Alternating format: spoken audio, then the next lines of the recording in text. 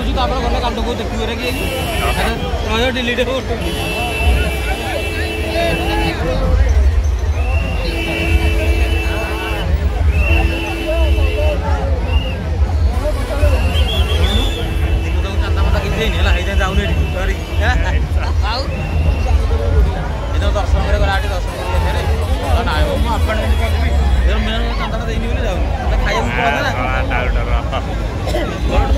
ମୁଁ ଯାଉ ନା ଆଉ କୁଆଡ଼େ ଦେଇଯାବି